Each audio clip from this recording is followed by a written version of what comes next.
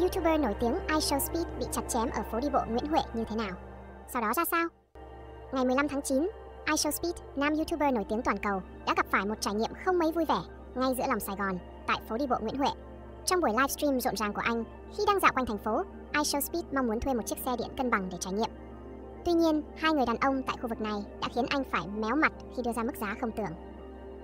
Một người nói giá thuê ván trượt là 100 hơn, trong khi người còn lại thì đòi 1 triệu đồng.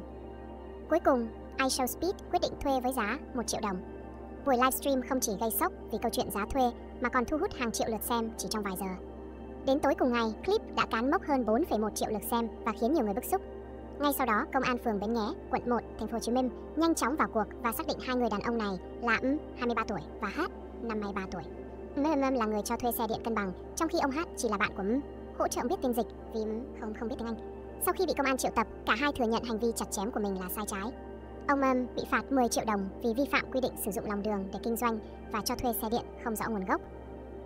Đáng chú ý, chiếc xe điện đã bị tịch thu và ấm phải cam kết không tái phạm. Nhưng câu chuyện không dừng lại ở đó. Nhận thức được sai lầm, hai người đàn ông đã tìm đến khách sạn nơi iShowSpeed đang lưu trú để xin lỗi. Dù tình huống không mấy dễ chịu, đại diện của nam YouTuber đã chấp nhận lời xin lỗi, khép lại một câu chuyện đầy kịch tính nhưng cũng lắng động giữa lòng thành phố sôi động.